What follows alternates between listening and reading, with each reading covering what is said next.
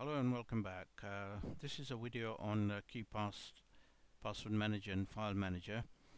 Um, you've seen a lot of videos on, um, and I've made a video on KeePass Password Manager.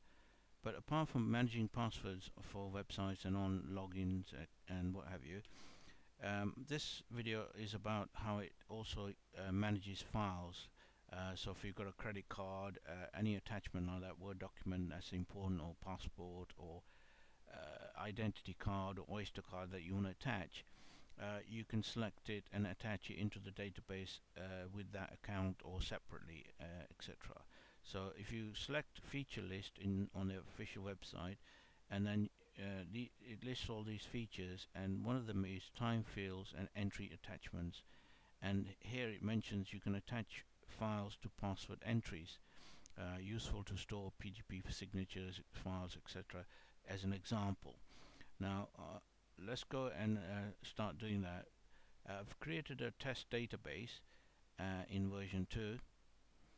Uh, you can see that's version 2 and I've got two entries added as accounts so you can add it from there as an entry and this is to do with file attachments okay so you can manage you can put you can double click on that and add your username password for a website uh, but to add a file you can either add it here by selecting uh, tools and then URL field select document.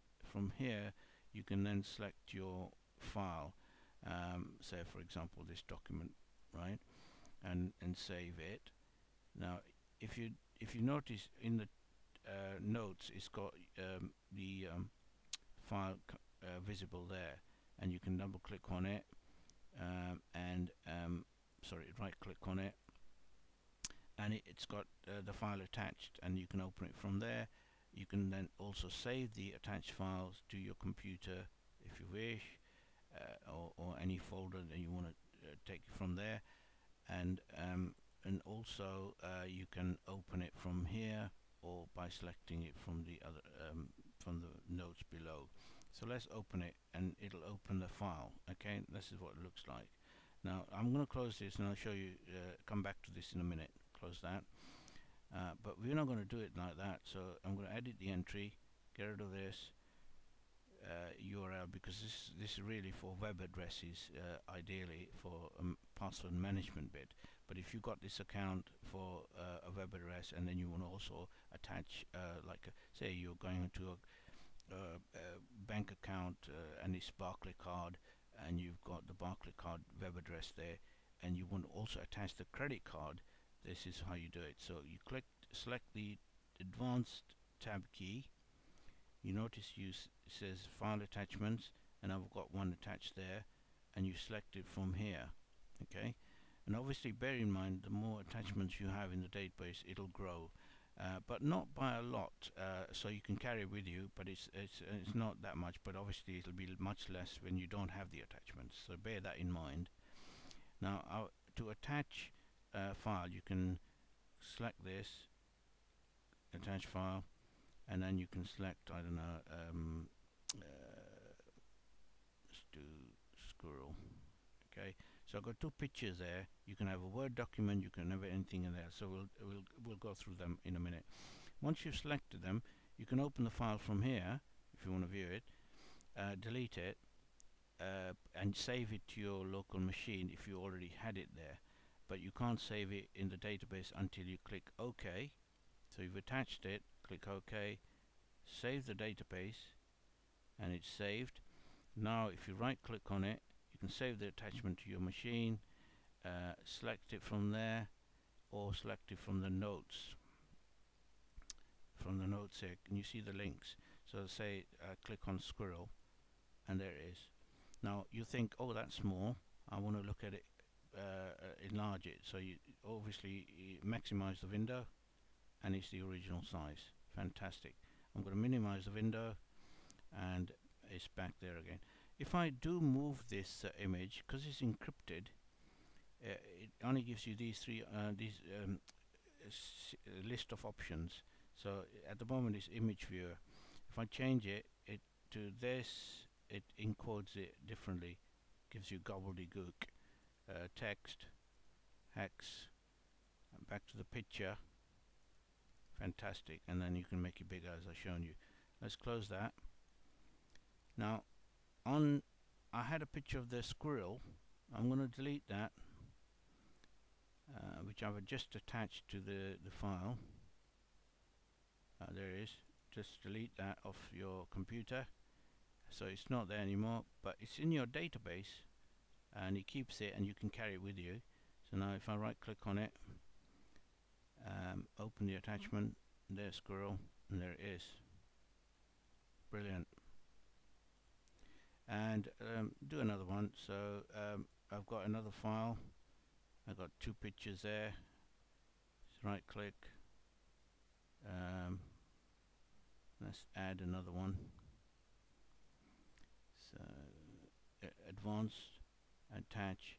And now I'm going to attach a file. Uh, I don't know scan document. So let's go up again. A Word document and a PDF okay? You can select two and there it is. I don't know what the limit is but you can do quite a few in version 2 but in version 1 you can if you export this and say so let's save this first. Save. Right click. So you got scanned you can you got scan documents. It, it gives you this coding. I wouldn't worry about that. But, uh, and uh, and this is a word document as you saw when uh, when I attached it. So if I double click on it go to advanced and it's a Word document. So you can open it from here right? But we'll open it from uh, right click several ways to open it. Click open and now it says uh, it doesn't open it from there. Okay so let's close that. Oh it's opened it. It's opened it. Thinking about it. Because it's encrypted it's going to do that. I'm going to close that right uh, so let's do it properly. Uh, let's do it from here scan. And you can see in the notes I've got a letter document. So if I click OK click on that doc line or let's do it from here. Uh, attachment uh, letter document right? Click on that.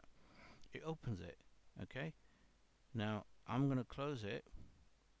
And then he says import replace the attachment by the modified temporary file. No we don't want that. You can if you want but discard changes. Discard any changes made uh, the temporary file and do not modify the current file. So you're going to keep it as it is so discard the changes. And it's, still there. Okay? Now you can open a PDF voila. Close the PDF it doesn't save you on the computer. See? Nothing is saved. This is Windows 8 and discard changes you still got the file attached. See? Right? Now um, a picture. San Francisco. Make it bigger. Fantastic. Close it. Minimize. So you carry it with you but you can only do one at a time. So you can have a passport picture you can have a, a credit card scanned uh, and attach it that way. Or you can also add another entry and uh, you know you can put a you know your Gmail account whatever account you want. Uh, but as I said if it's a bank account you can put bank cards passwords etc and it's secure okay? But when you export it and save it as version 1 uh, it it only does uh, I'll just show you because I've got a few attachments as, as you see there are four attachments and I export it as version 1 to save it on my I don't know area I'll save it as PNF test database right? So it's that path. Now I'm going to save it. It says error because it only supports one entry. This file format only supports one attachment per entry. So version 1 only supports one. So if you did if you did if I did open it you'll only have one file. I don't know which one it would be. I can test it if you like. Just do it now. Uh, let's go back to version 1 KeePass version 1 and there it is gave it the test pass password. Open it minimize that. Now you've got scan document there because these these were previous entries so ignore those because it's a new database. And um, right click it doesn't open the attachment and you can't see it, the attachment there. Okay oh you can it's there but you can't click on that link. It doesn't create that like like, like it did in version 2 so you can open it from the link clicking on the link. You're forced to save it. So it's still there so you can save this Hollywood uh, document in that file or another folder. Let's do it there.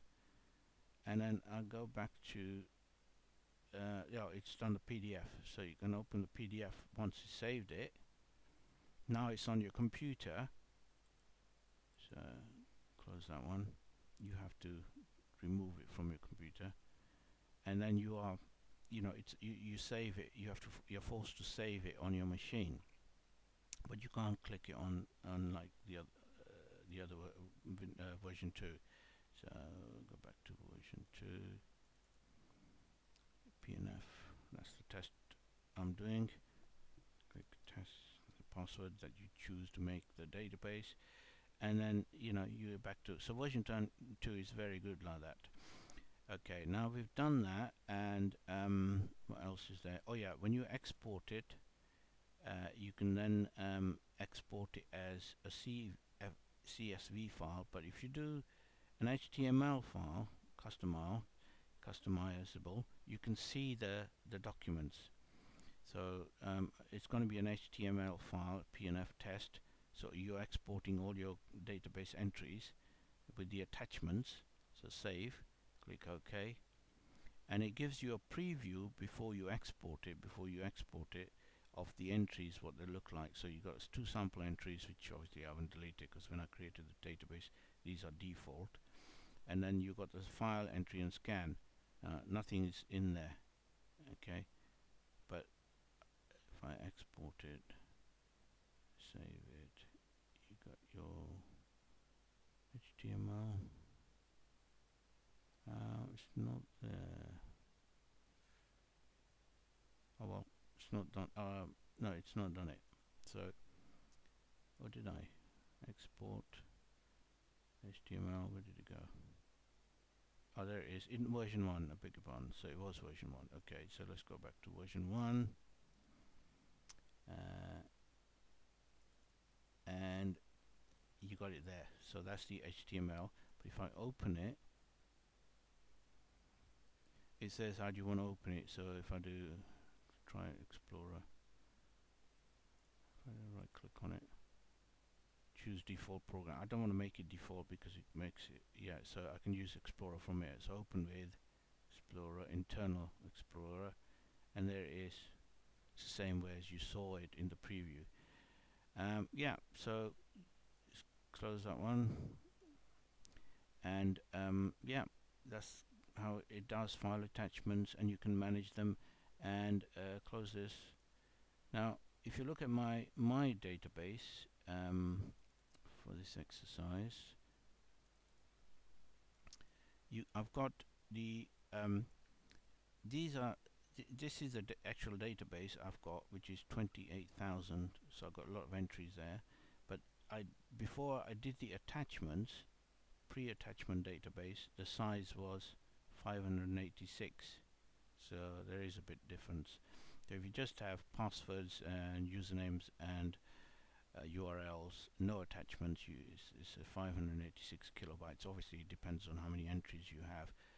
Um, and I I'll pause the video and work out how many I have. So just pause the video for a minute